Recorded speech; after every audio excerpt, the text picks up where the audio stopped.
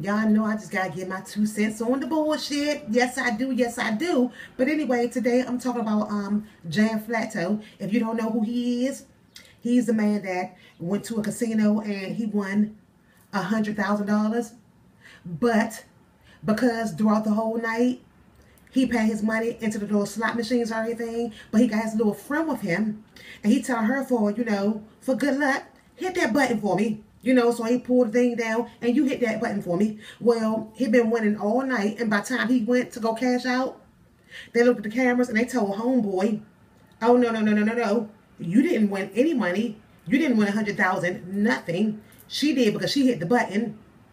Now, the fucked up part about it is, is they came in it together, and they supposedly supposed to be friends and everything.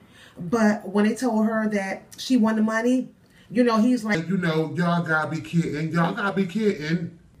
And so, you know, she like, she's here for it. Because, oh, I want the money. I want the money. Now, she know damn well that she did not put no money in the slot machine because most likely like me, she wasn't trying to put no money in there because she didn't want to lose no money. That's why she wasn't putting her own money in there, whatever. And I have my own theories on why she was there. But anyway, they went ahead and told him that he didn't win the money. They went ahead and gave her the money. Now, she offered to give him some money. But he wasn't trying to have all that because he started sending her text messages or anything. Because now, mind you, after they told her that she won the money and they give her the money, she takes the money and she rolls out and everything. And now he's a there acting a monkey and acting a fool and all this other stuff and everything. And she rolls out. So he's leaving her threatening messages or anything saying, you don't want me as an enemy and all this other stuff. so she said that she offered him some money. And when he started making all them threats and everything, she said, fuck it. She ain't giving him shit. And she ain't giving him nothing. Which is crazy. Now, if that would have been me, it's no way. First of all, if I'm putting my money in a slot machine or whatever machine it is, whatever it is, I'm not telling nobody push no button for no good luck.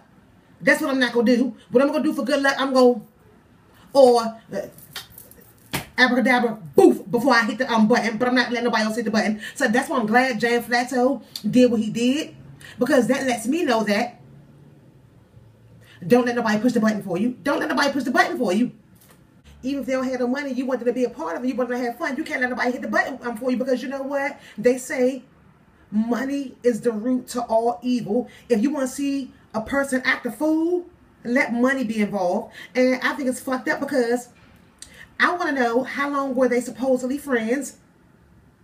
How did they come together? Because I'm going to show y'all a picture of what he looked like. And to me, when I saw what he looked like and everything, he looks like, I'm going to show y'all what he looked like.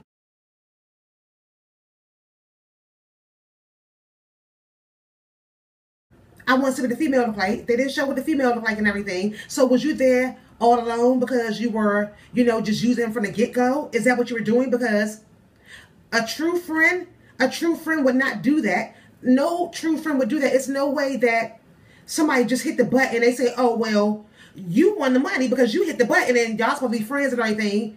And then you just roll out. So it's obvious that this bitch was a gold digger. She was a gold digger. And then for him to be sitting there saying, you don't want me as an enemy or anything, how long did they know each other? How did y'all hook up? You know, because it doesn't sound right. And for her to just take all that money, it doesn't sound right. And then another thing is, is I want to know how much money did she offer him? Because they claim that she won a $100,000.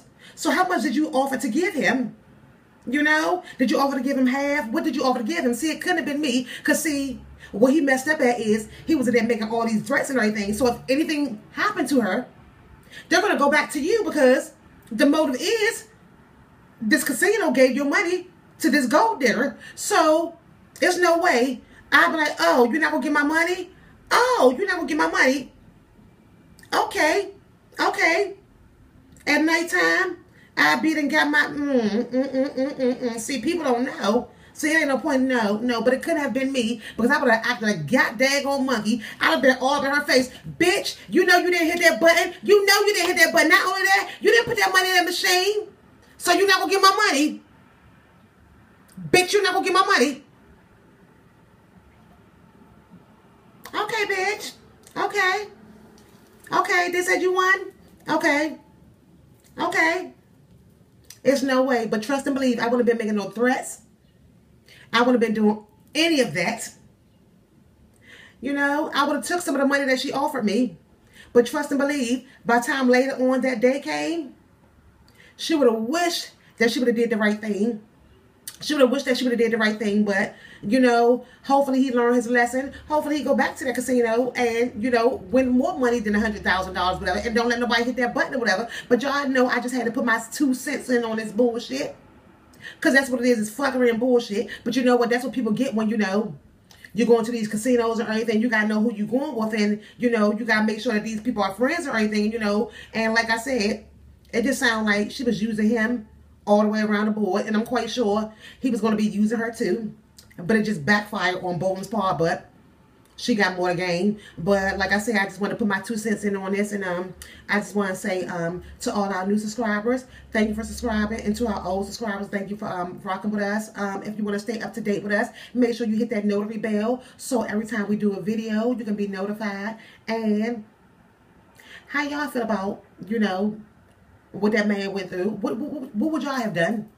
Like I said, I would have made no threats on the phone or anything like that, but I'm going to tell you just like this.